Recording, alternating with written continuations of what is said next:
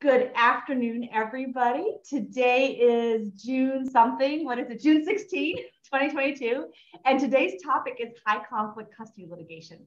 Um, so this topic really, with the high conflict aspect, could be over three sessions, but we're going to cram what we can into one hour, and we may not get to get get to everything. But I have um, three guests today. One of them's missing in action, but we're hoping that she's just having a little technical difficulty and will be able to join us in a few moments. We have Lise Spresser, who is a partner at McGinnis. I don't know if I'm saying it right, Chappelli and Spresser. So Chappelli, yeah, McGinnis, Chappelli, and Spresser and Troy. And we also have Ryan Kelly, who's a partner at Kelly and Kelly in Northville. And then uh, hopefully we'll soon see Siri Gottlieb join us. And you know what, since she's not here right now, I'm gonna wait to introduce her um, so she can add anything to that she wants to say. And of course, I think everybody here knows um, Lise and Ryan uh, very active full-time family law um, practitioners in Oakland County.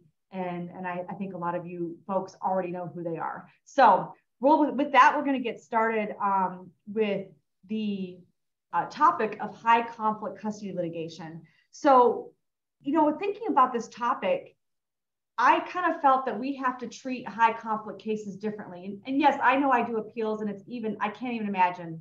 They're hard for me. Um, but I can't imagine how difficult it is to be a trial attorney in the high conflict cases. And, and, and, just a couple of preliminary remarks I wanted to share, and then I have some questions for Ryan and Lise. Um, I know if it's a high conflict case, I know it's going to be a lot more work, and there's going to be a lot. Well, I think I think one of you ladies mentioned this, a lot more prep time. So let's just for a second, do you want have any comments about the kind of prep time that goes into a high conflict custody case? Ryan, do you want me to go? do you want to? Um, so, so I think when we're talking about high conflict cases, there's there's really two possible stages.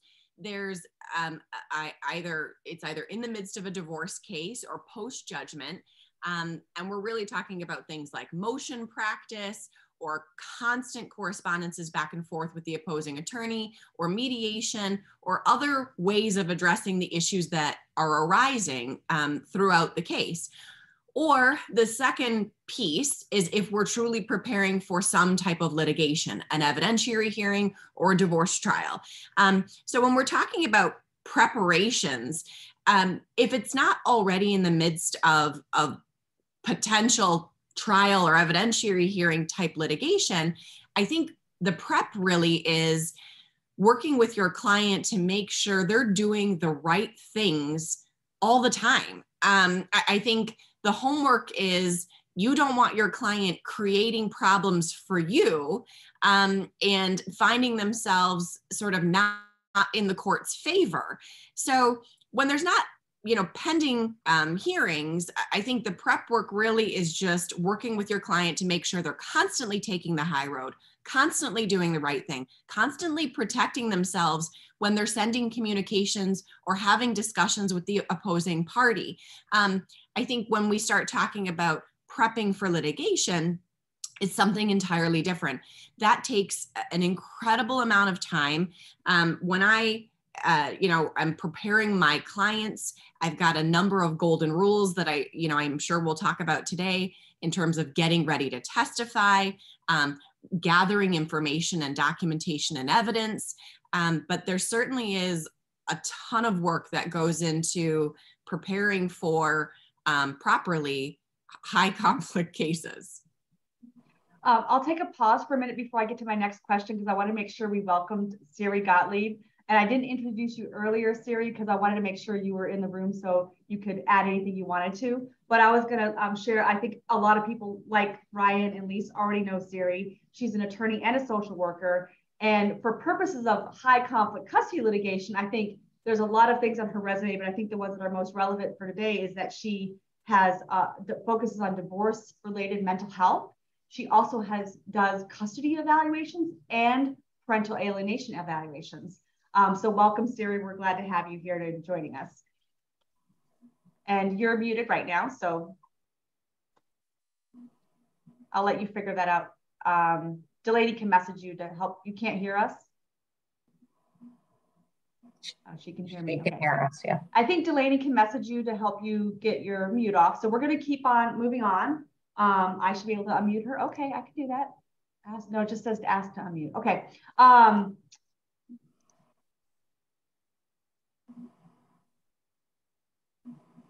okay. Um, you should have three little dots on your screen, um, Siri, that you can use to, or something in the bottom left-hand corner to unmute yourself. Um, okay, let's go to the next question while she's looking. Um, sorry, sorry. Oh, Can you hear me now? Go. There we go. Yes.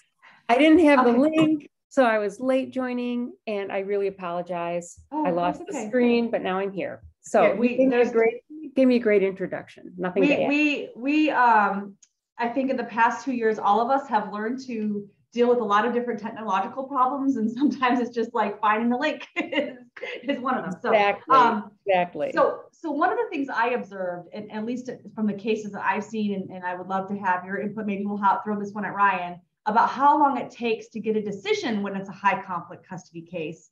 Um, obviously, this is assuming it goes to litigation. Um, my my observation is that take the decisions take a lot longer in in that the trials are spread out a lot longer. Mm-hmm. Ryan, do you have any feedback on that topic? I mean, that is one of the big points that you really have to prepare your clients for. This isn't like courtroom TV where you get a decision right then and there, and then everybody goes out, they they walk out the courtroom, they pick up their kid, and they go to Disney World. That's not our reality. First of all, whatever hearing dates you first have set are likely going to be adjourned, probably multiple times as you accommodate needs for discovery, issues with witnesses, perhaps do different evaluations. Once you start that trial, I think the best laid plans always go awry once you're in a trial technological difficulties, COVID delays. Um, we have to be conscious of that now, whether your trial is in person or virtual, witness difficulties, just things down to even weather and whether people can get where they need to go, kids getting sick. Then when you start the trial, even if people think, okay, this will take us two half days, that usually is not the case. You keep going because the court's very busy. Then after that, you're waiting for a decision, which can take months. Then you have to get an order after that decision is entered, which can be difficult. And then you have to prepare your client for the eventuality of potentially an appeal or motions for reconsideration as well. So you can you can be litigating a case on a custody for for two to three years before you have a final decision. Wow, wow. Um, can we talk for a minute about expert witnesses in these kinds of high conflict cases? Um, are there more experts that are needed in a high conflict case? I mean, I, I do think so. I mean, the first thing is with high conflict cases, high conflict cases have just a special niche. First of all, it shouldn't be us as the attorneys or professionals making it high conflict. Right. It's usually the clients, difficult mm-hmm. mental health issues, substance abuse, CPS investigations, domestic violence, alienation cases. Uh, so when you have those specialized issues, I think of it as the judge needs help or the trier of fact needs help to figure out and decipher those issues. It isn't just a he said, she said. How does this really apply to what is best for the kids? May I jump in from the point of view of a mental health professional? Absolutely. I think part of the problem is because mental health professionals are frequently not brought in until the conflict is so firmly entrenched that it's an mm. uphill battle, if not completely futile guardians ad litem, mental health guardians ad litem, parenting coordinators, um, co-parenting counselors can do a lot to help lessen some of that high conflict before it ever gets to the stage of an actual trial and may even obviate the need for that.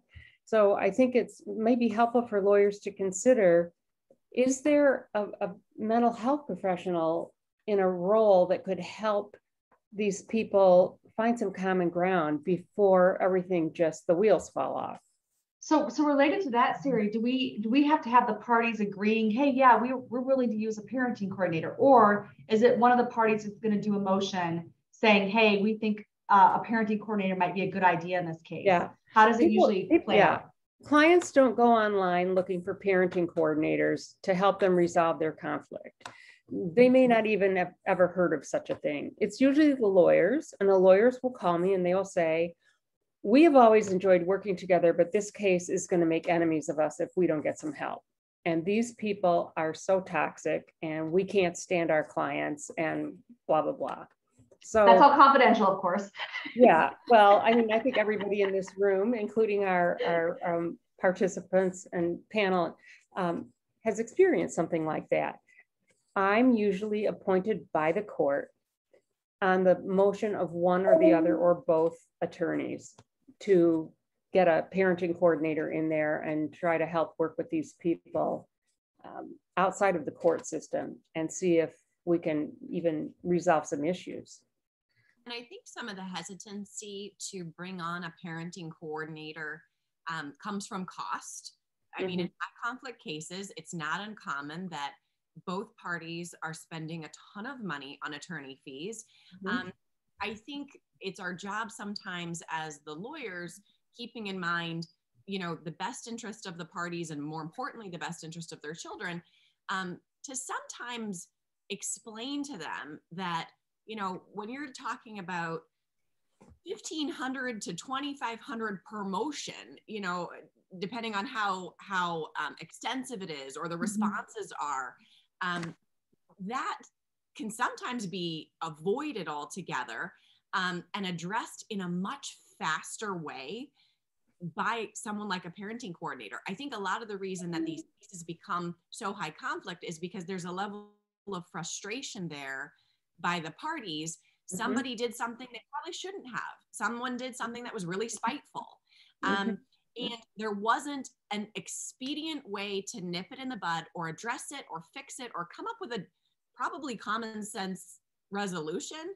mm-hmm. and so that's when sort of the train flies off the track and the litigation costs skyrocket and you become kind of the revolving door case and the courts start to see you all the time. So I'm not um, sure if your point is that bringing in a parenting coordinator unnecessarily increases the cost to the parties or no she's saying the opposite she's saying okay. the opposite okay it's so like it's like an it's like an investment you're you're to right. explain to your client it's an mm-hmm. investment that you pay for the parenting coordinator and then by doing so you're going to save on all those motions that you're going to would otherwise have to fight it out through court because you couldn't use right. this parenting coordinator and to the other, resolve things. The, the other practical point is that the parenting coordinator does not supplant the attorneys, but the attorneys do need to be secure enough to take a step back and let the parenting coordinator try to resolve things between the parents um, in a way that recognizes that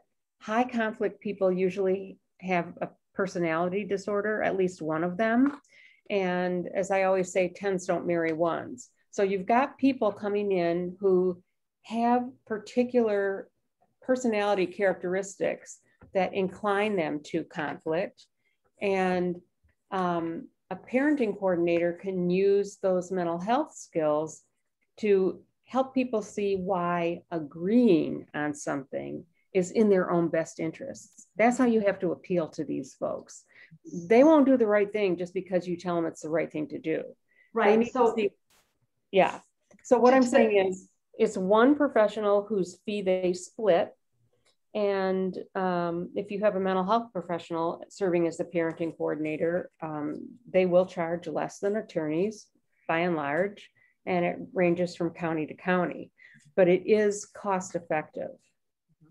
Um, to the point of this conversation, one of one of the comments that's been raised in the audience today was um, a reminder of the recent AML conference that we had in May, and there was a topic on managing client expectations at the outset of uh, the case. I'm sorry, I can't remember who did that one, but um, the the comment was about you know clients who have like the scorched earth mentality are not going to want to hear that. But I guess that's where you do one maybe one attorney has to do the motion and get the judge to make the decision, right? You're not mm-hmm. going to get the two attorneys to agree to do it. You're going to have to do it by motion. Um, I think what, I, what Siri just said uh, was so spot on and to the point of, of um, the person that just commented uh, in the webinar. Um, it is in some ways um, a, a technique to sort of play to the personalities of the parties. I have a conflict, high conflict case right now where I tend to believe that my own client is probably 70% of the problem, um, just very strong-willed and uh, you know i've we have we have a parenting coordinator in the case and time and again i've seen that parenting coordinator play to my client's desire to be the hero. You know, there's a way for you to, to, to, to make this better for your kids, for you to be the person who almost came up with the decision that the parenting coordinator really suggested.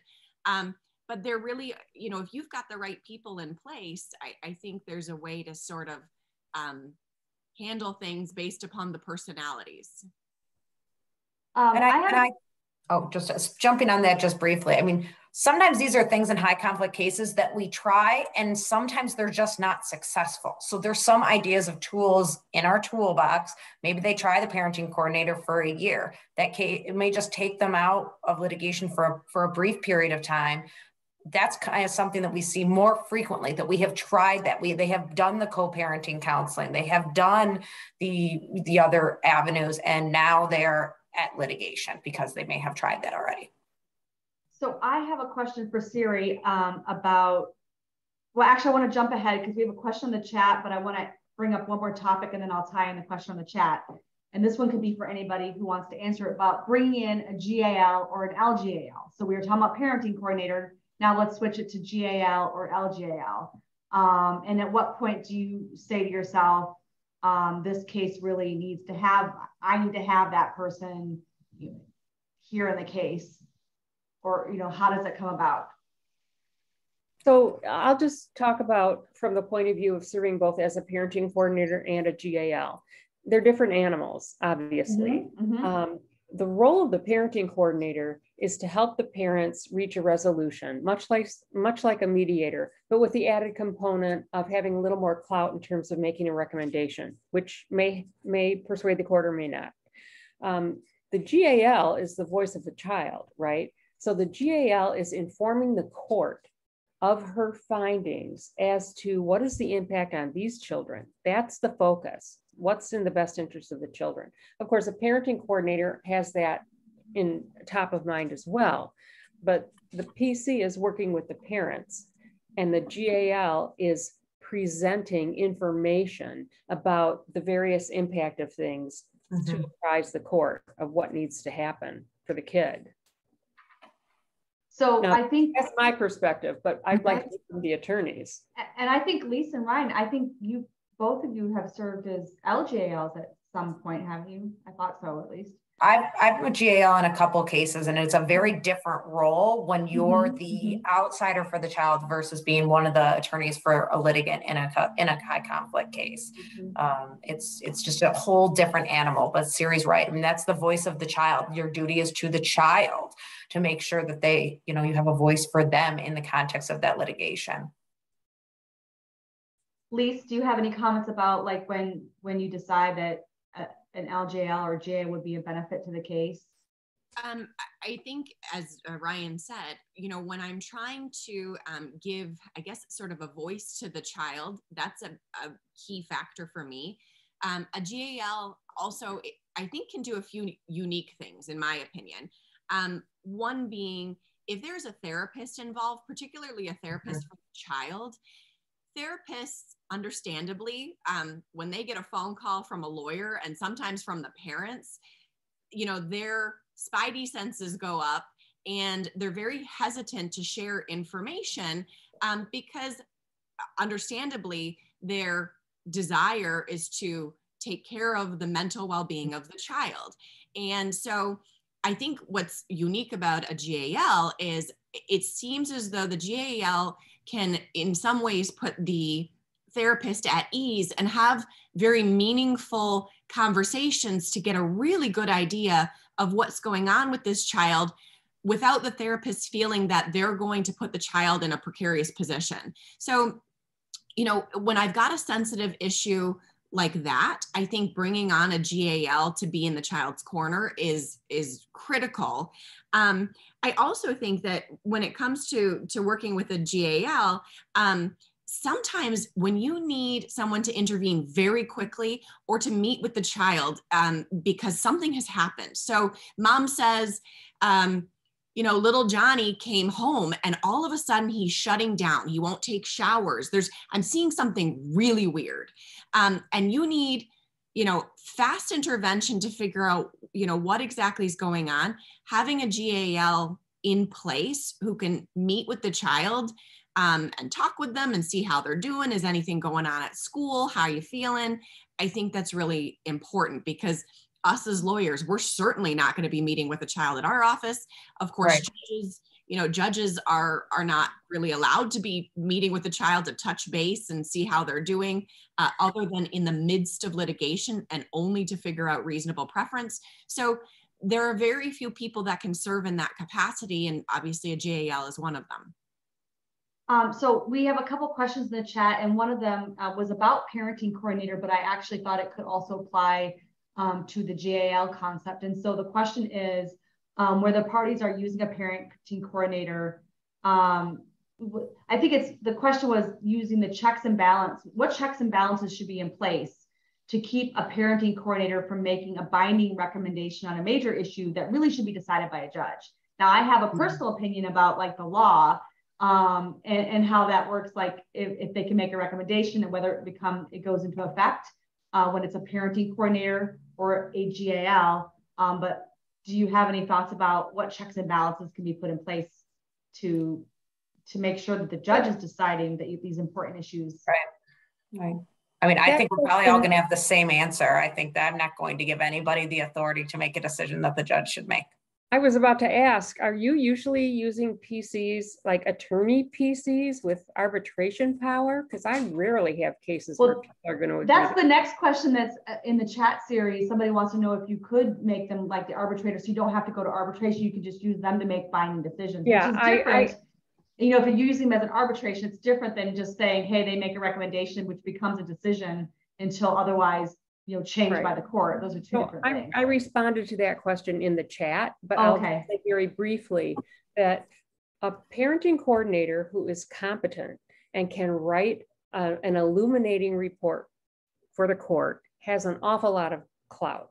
Courts are grateful for someone with insight who can lead them down the path to the conclusion that you want the court to reach in terms of what to order.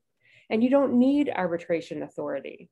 I think it you know, that is a very slippery slope. And most clients won't go along with it anyway. But I find that my reports to the court are quite persuasive, and the judges will most of the time enter them as an order.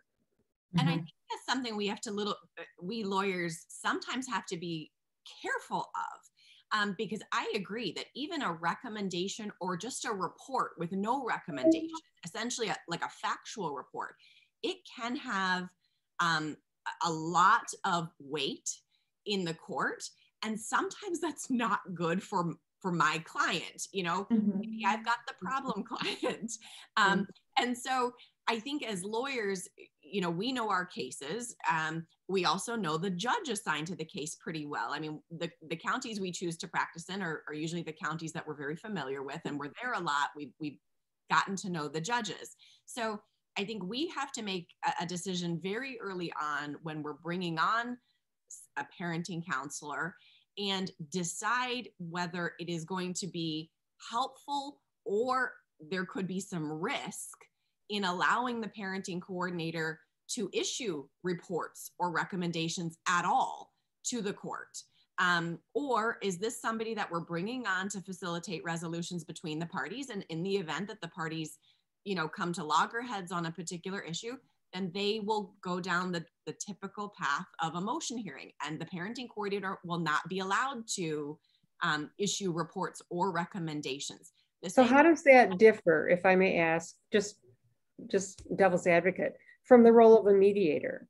If you're not including an evaluative and reporting function for the pc why not just send them off to mediation well, typically because from a procedural perspective, most of our mediators are scheduling two, three months out. Right. You don't have immediate access to someone who can mm-hmm. um, help facilitate resolution. And, you know, the mediators are not a revolving door. You, you can't just fire off an email to them and say, okay, here's today's problem. Can you help us out? Um, right. Um, it, it's, right. you know, obviously they function a little bit differently. Um, mm-hmm. I tend to think so long as I'm working with my client to be doing the right thing. I tend to think that most of the time, I, I would hope the parenting coordinator's reports or recommendations are going to be helpful, um, but it's just not always the case. And I think from a strategy perspective, it, it really is something you have to think hard about because it could certainly bite your client um, as much as it could help them. Mhm. Right. I mean, the other thing to keep in mind with the parenting coordinator is I believe the statute requires that there be consent of the parties. The court can't order that Yes. versus a GAL. So, Correct. you know, I mean, when that first came out and the statute was first developed, people were kind of like, oh, let's just kind of squeeze that in. But the statute's pretty clear on that now that that's something that the parties would need to agree to. Good, good, very excellent point, Ryan. Um, I have a question for um, Siri. Can you talk just for a minute about how is the litigation, this high conflict litigation affecting the children? Yeah, sure. Um, and it's not just the litigation, but just the general, the high conflict in general. Um, the child can experience a lot of anxiety because of the parents fighting. Uh, the child can get the message from one or both parents that it's just not okay to enjoy your time with the other parent. Um, they learn to either hide a lot of their feelings, like it's not safe to come home and say, Hey, mom, I had such a great time with dad. We did this and we did that, and know that that's going to be upsetting to mom. And then that child starts to take on a sort of parentified role in protecting the parent from unpleasant reality. And that is, uh, you know, such an unfair burden on the child. So that's that's just a general, quick and mm-hmm. dirty overview of some of the risks to children in a high conflict situation. Ryan or Lise, do you have anything to add on that point? Mm-hmm. Well, I mean, one hundred percent. I mean, we, we all know this, but when you're, you go through a custody trial it is the worst thing you can ever do for your family. It doesn't often fix, barring there being some certain situations where that rights the ship, perhaps like a legal Mhm. custody fight or something like that, where decisions need to be made. But for most of, most cases, it is, there will be no sitting next to each other at a soccer game. There will be no going, doing a joint first communion party. Um, and these are just things you need to talk about with your client, as well as the financial recovery from the costs of the litigation with very uncertain, unsure results. Um, sometimes this is necessary, right? Sometimes you have to have that legal custody fight. Sometimes you have to have that parenting time dispute, but clients have to be aware of all of those things going into it. Um, you know, and that's our job. So I want to switch, go ahead. Uh, just even the even the cost of parenting coordination i will often say to clients do you really want to spend your children's college tuition arguing about this? Really? Yes, they do. well sometimes it has some weight but yeah Sometimes it you're does. exactly right ryan. It's um, these people are really difficult to get through to Um, so I want to switch gears and talk and have us have a conversation about tips for representing a client in the high conflict litigation, especially custody litigation. And so I would love to hear some tips from our panel. Um, and I one one idea I had, and, and I know Lise had a comment that she was going to share with us, was that what I see a lot on appeal is that it seems to me that you know when these cases are dragged out over the course of a year with a trial date spread out, that sometimes the judge basically is making up their mind kind of early in the case and they're not really necessarily paying attention like the, the evidence is not going to sway not they're not paying attention but the evidence that comes in in month six or month eight is really not going to sway them um, because they kind of already know where they want to go. Um, and so they have they look at everything they hear through these this blinders of where they think the case should be going and um, I know, Lise, you had a suggestion for what you do to help um, frame the case for the judges. Yeah, I, I think um, you get a feel for how your judge feels about the case or about one or both parties. Um, and headed into an evidentiary hearing or a divorce trial, I really put a ton of time and thought into my opening argument.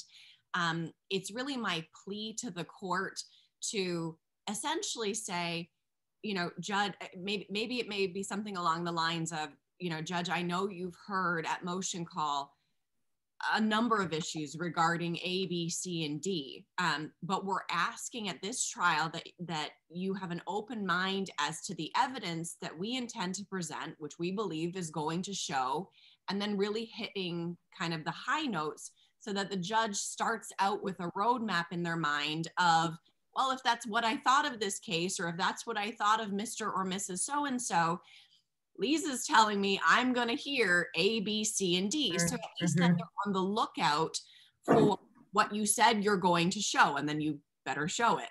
um, but I think it it's your first chance of trying to clear the table and say, okay, judge, I'm, I'm asking you to come into this with an open mind.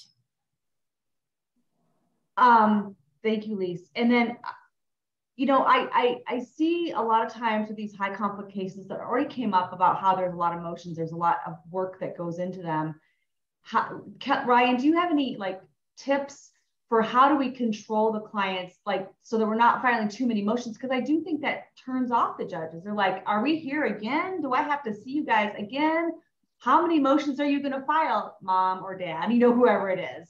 Um, do you have any tips like for how to control the client so that you don't have to file so many motions?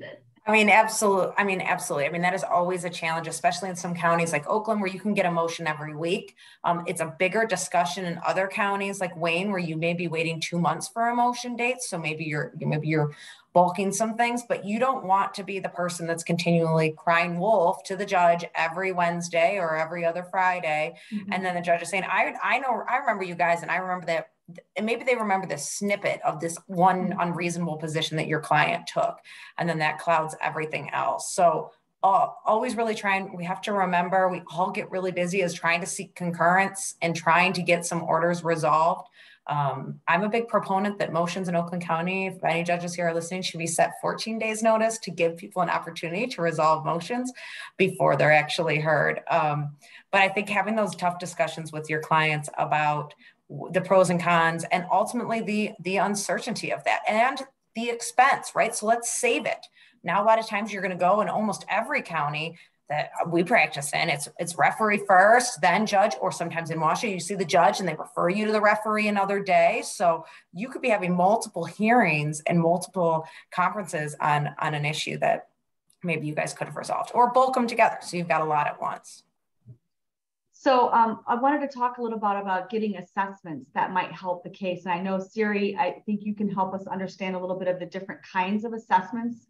Um, like a, what's the difference between a parental alienation assessment versus a custody evaluation versus mm-hmm. a psychological evaluation, just to kind of lay the, the framework for everybody so that our audience kind of understands like how they should be using these assessments. Yeah, sure. Okay, so very briefly, um, an attorney um, trying to determine whether and what kind of evaluation may be called for in a case is going to need to identify what the questions are that you want an opinion, an expert opinion on, um, because they're all different animals. A psychological evaluation is searching for the presence of mental illness. It is not designed to assess for quality of parenting. It can just tell you about the person's personality, uh, mental health concerns that may crop up, uh, and they make use of psychological testing to arrive at that conclusion. But the conclusion you're going to get from a psychological evaluation is I tested this person, and this person presents as someone who likely blah, blah, blah, blah, blah. They're not going to tell you about what kind of parent this is. Whereas a custody evaluation um, if conducted by like a social worker like me, I'm not licensed to conduct psychological testing. And for purposes of a custody evaluation, I don't feel that they really add any value. A custody evaluator is going to meet with everybody who has anything relevant to say, both the parents several times, the children if appropriate, collateral sources like relatives, friends, teachers, pediatrician, um, and really get to know this family and the dynamic between them. And when I write a custody evaluation, I am quoting the parents word for word what they said, what concerns that raises for me. I'm identifying patterns of behavior that I think will give you a good sense of what kind of parent are they? Do they have the capacity to even recognize that their children have needs different from their own? And then to honor that and make some personal sacrifices in the interest of their children. That's what a custody evaluation can provide. It's very thorough, it's very personalized, and it focuses on the fitness of the parents. So I know you're going to mention parental and alienation assessments, but before you leave custody evaluations, I have a question for you. So Sure. I've, I've, I've read quite a, quite a few of them over the years, and a lot of them, you know, they'll contain a best interest analysis. Is the approach of a custody evaluator doing the best interest um, analysis Yeah, I different mean, than I- how a judge would go about it? Um, I was about, to- I was going to address that after I talked about Oh, okay. Parent, parental child alienation evaluations. The short answer is yes, but I'd like to expand on it. little. Okay. Excellent. Uh, an alienation evaluation is just that. Is alienation happening? It's a pretty serious charge. And I don't throw that term about lightly. In fact, I shy away from labeling anything. Um, I focus more on what behaviors are we seeing, what history, what patterns, what can we reasonably assume will continue into the future. Um, an alienation evaluate, I mean, there are lots of ways for kids to reject parents, right? And it's on a continuum. Um, or even not rejecting, but having a stronger bond with one parent over the other. That's normal in early childhood. Farther along the spectrum is an estrangement from a parent, reasonable rejection because the parent's a jerk or is abusive, all the way to the extreme, which is real alienation, where a kid says, I don't want to have anything to do with you ever again in my whole life. I can't tell you specifically why. I'm just not comfortable. Okay. And that can get entrenched very quickly. Mhm. When I write these various evaluations, and I, I don't do psych evals, just custody and alienation evals, I do follow the best interest factors. After I have presented sort of like my case in chief, who are these people? What do we see them doing? What's the dynamic? Then I then toward the end, I go through the assessment, just as if like I were the friend of the court and looking at all the factors. And I, I present the evidence that I have found to support whatever my conclusion is as to the factors. I think it's critical. The judge needs a roadmap. And the best interest factors tick all the boxes. Is that what you were asking? Yeah, no, it is. Thank you. Thank Okay. you. Um, Ryan or Lise, do you have any uh, comments or feedback on the assessment issue? I have a- I have a question, and because Siri's such a wealth of knowledge, um, is there a difference, or should we ever be asking for a psychiatric versus a psychological evaluation, depending on, um, you know, if we think the issue is uh, OCD um, and hoarding, or if we think the issue is whatever. I- I- mean, is there a difference? Should we be asking for psychiatrists to do an assessment versus a psychologist? And does it, I mean, are we going to get to the same place or do we need Probably. about medication? Yeah. or- I mean, you know, a psychologist is competent to administer the tests and to discern if, if there's a character disorder. Um, and likewise, if there's patent mental illness, I mean, a social worker can tell you too. A psychiatrist is more focused on the, the treatment. What are we going to do with this person's mental illness? You know, medication, um, combination of medication and psychotherapy. Um, they may delve deep. If you had someone who has been diagnosed bipolar, for example, you might want to send them for an updated psychiatric evaluation when you know that you're dealing with a specific mental illness. Um, if it's a serious case, if you think the parent is really out of touch with reality and is um, a, a, threat to the well being of the child, you may want to go with a psychiatric evaluation. That's pretty serious. Okay. Um, I don't want to go on if that addressed your question. That, that really did. I appreciate If you want, I think my bottom line is if you want to know how do these folks parent? What is it like to be their child? Then you want to go for a custody evaluation because that you're going to get the nuts and bolts of that. Now, do these evaluations, I knew the answer pre-March 2020, but are these evaluations happening in person? Like, are you meeting with the, the family members in person I- or? I used to, but during COVID, I just started doing it on Zoom virtually. And I have not found any decrease in the quality of, of my work. And I think a lot of people, clients are even more comfortable because these things are anxiety producing for clients. And, you know, you have to recognize and honor the fact that their anxiety may may cause them to appear less functional than, than they really are. Hmm. And when they're in the comfort of their own home, I think that relieves some of that anxiety. So I, you know, I have no geographical limitations because now I'm doing everything versus Zoom and I like it so much, I'm not going back. It's so convenient and it's so much easier and it's more efficient and it's less costly and people don't have to get in the car and drive. And I, I just think the, the, the results are quite, I, I don't see any um, diminution in the effectiveness. Yeah. That's I mean, I feel a little bit differently on that. I think that there's a, be- I feel there's a benefit to having, to observing people in person. Sometimes I think I'm seeing that people are sometimes doing a combination. Maybe they do a first meeting. I even do this, I'm a GAL on a case right now. I did my first meeting with the, with the child on Zoom. Then in two weeks, she came into my office. Then we went back to Zoom. So that way I could kind of get a sense. There is a concern. We've all seen those clips about who else is in the room or what else is going on. So we have to be more cognizant, I think, of people's fears and concerns and health concerns and scheduling, just like we were talking about with the trials.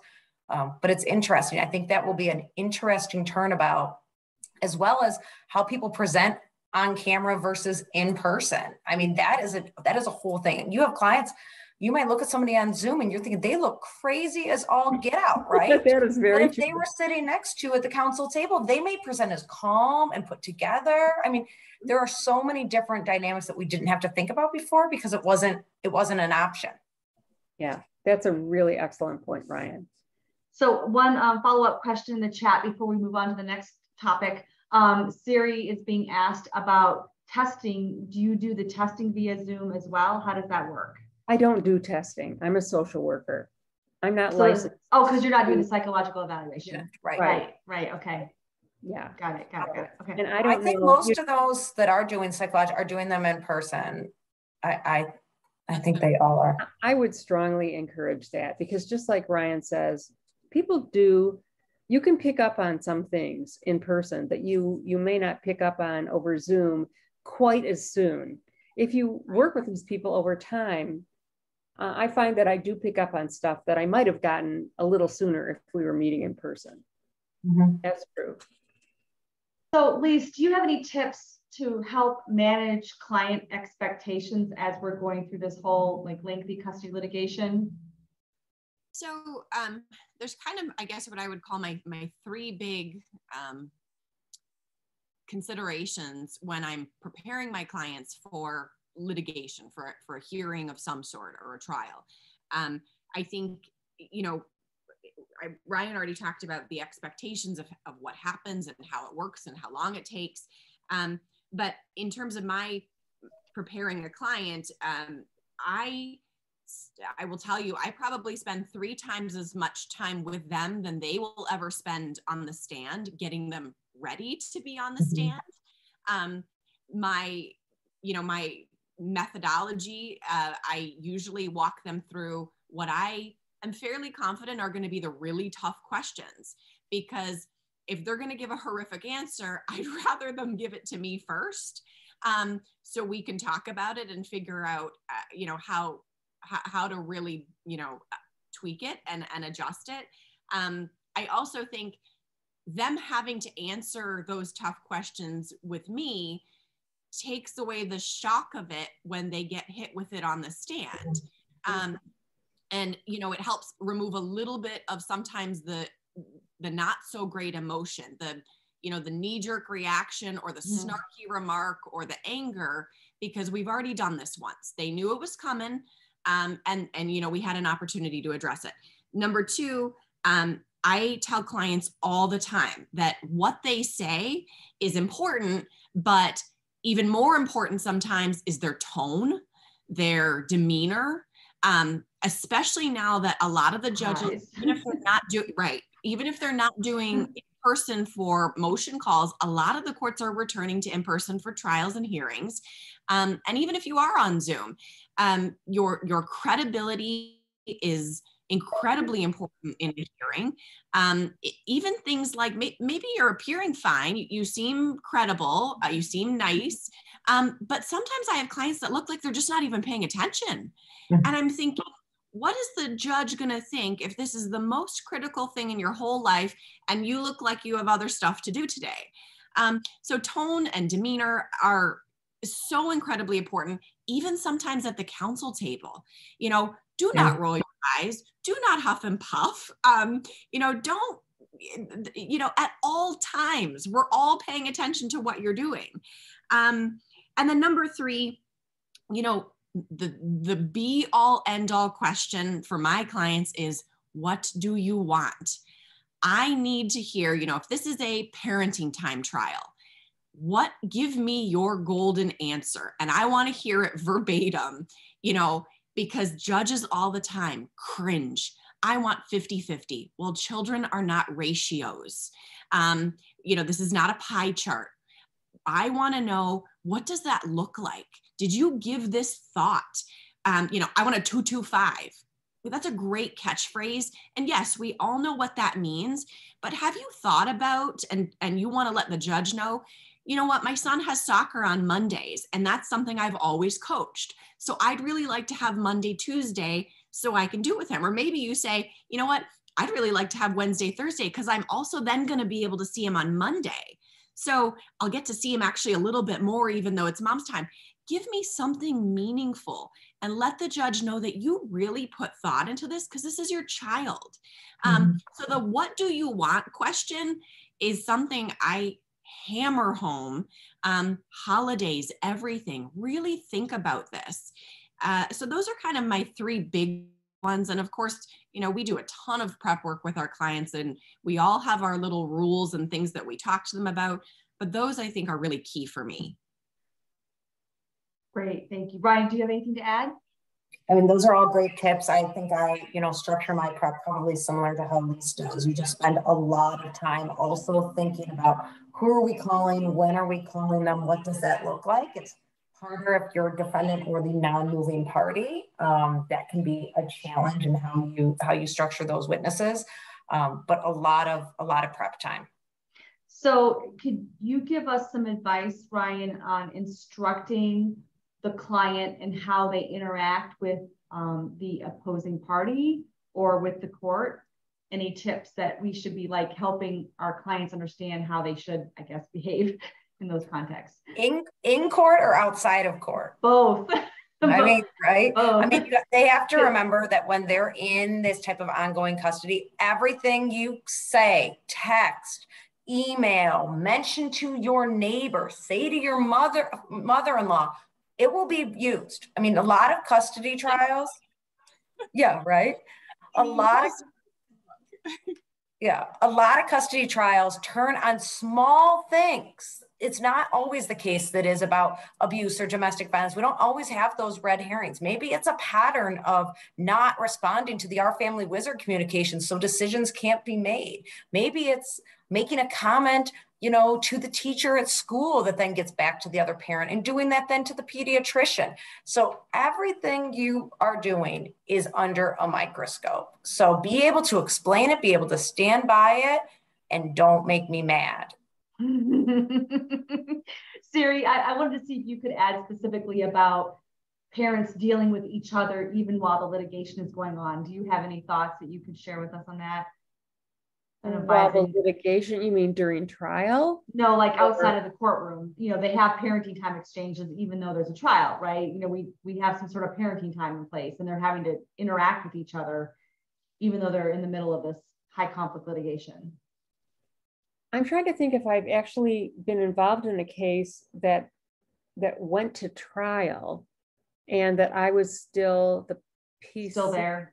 I mean, usually PCs are appointed um, post judgment, not mm-hmm. necessarily, mm-hmm. but um, I think, you know, I, with my clients, whether they're approaching litigation or there's a motion or something, um, I try to establish protocols of behavior with them. Right. Okay. That are extremely clear, um, maybe formulaic, but there are a lot of, you all know this. You assume that people know and understand basic stuff, and they don't.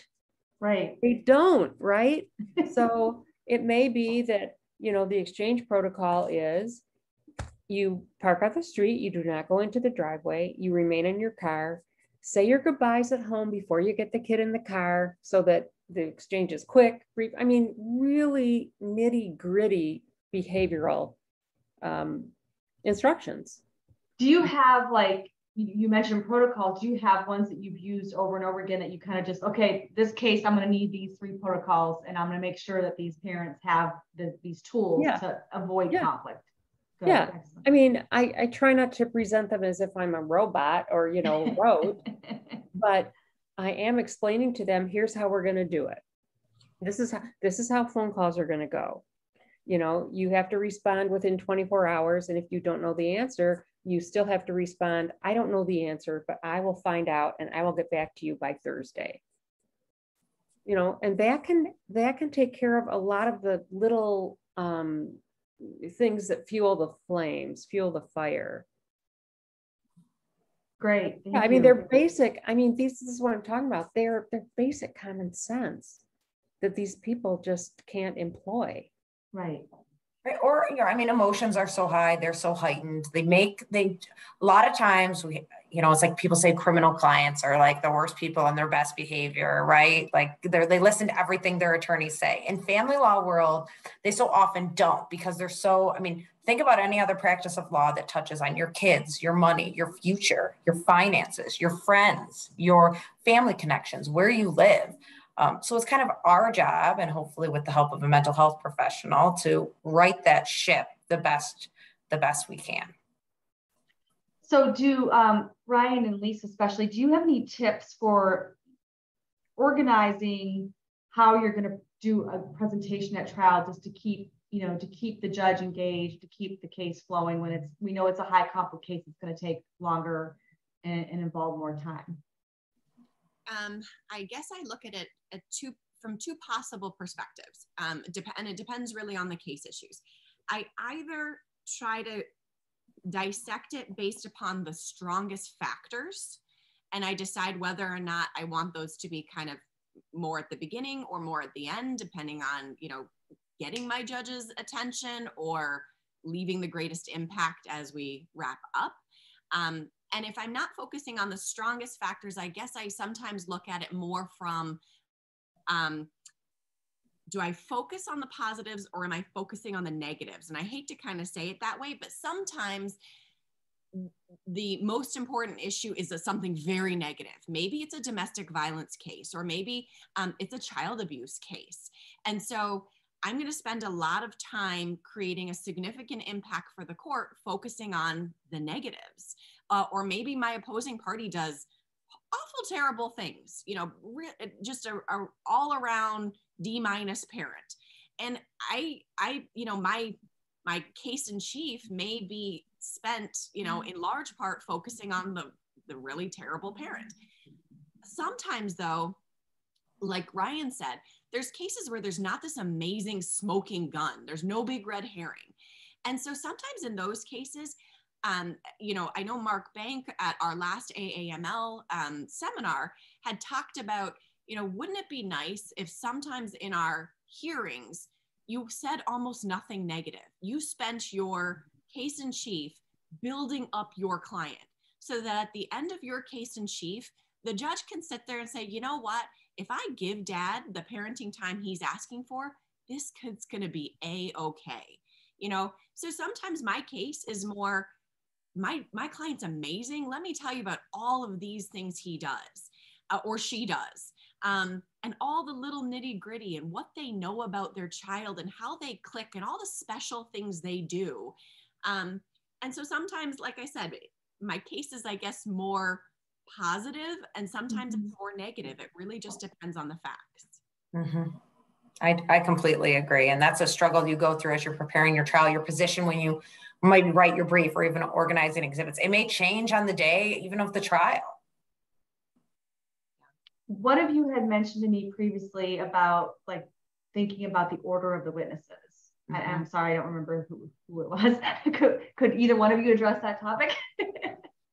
I mean, that's what I struggle with a lot. Are we calling the adverse party right away? Are we getting them on the stand or are we roasting them right away? Because I think we all know, like all of us, what people are hearing, what our judges or our referees are hearing right away. And then at the end, I think stick out the most, except for those moments where the judge is like, oh, did that really happen? You know, like it's coming out in the testimony. So you really have to think about that order of presentation and what's going to work best for your case. And I think that kind of touches as well as when Lisa was saying, like, do I want all the good stuff or not? Do you do you think that you know when you're give all these considerations about how to do the presentation of the trial, is it are you thinking about the judge and the judge's personality more, or is it more about depends on the issues and the, and the parties?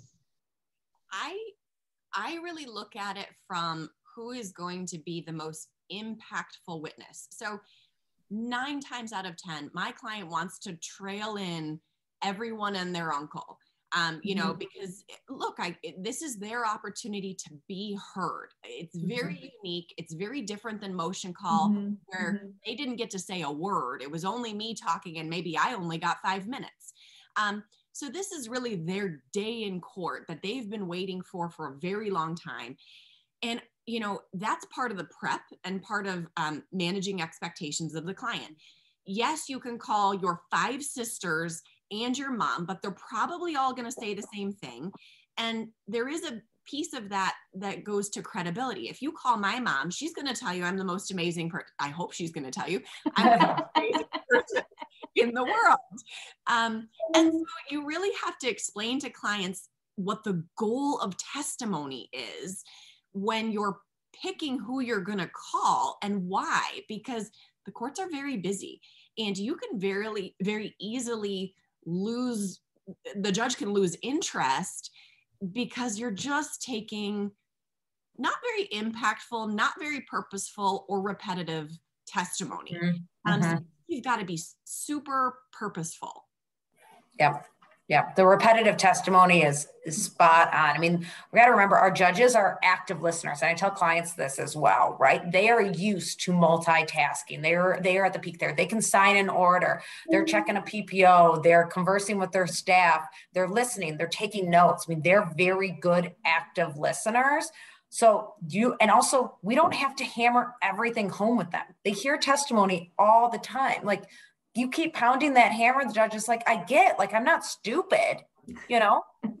so I, I, try to be cognizant of that. We all get carried away one time. Sometimes you're like, and you ask that again, and you're like, oh, I did that again. But we really have to remember these are most of our judges are at the peak of their practice, their career, their preparation. They've read it. I find that most of our family law judges are prepared now. I, I, they read everything, they confer with their staff, they have us in for settlement conferences, they know the facts. This is, I would say that family law practice, even in the 15 years, I find that our judges are supremely more prepared than they were when I first started practicing. And, and one so, other tiny thing if there is just a volume of information that you want to convey, just keep in mind that you've got that 20 page brief that you could submit should be submitting in advance. So you know it, it, it's not as if the only thing they've ever heard about this whole case is going to be what you put you know in testimony. You've already had an opportunity to kind of lay it out sometimes in a better more organized fashion in your brief. Um, so use that as a tool you know obviously mm-hmm. as part of your litigation Excellent. So we're out of time. If anybody has any closing thoughts they want to share, I, don't want to cut anybody off, um, but I do like to honor our time constraints. Um, any last comments? Going I think once, we could all keep going for a while. I know we could. I want to thank all three of you so much for being here. This has been a wonderful conversation. I think it's, I'm hoping it's given a lot of great ideas to our family law trial attorneys out there. So thank you again. And I would look forward to seeing you in the fall yes. out the summer.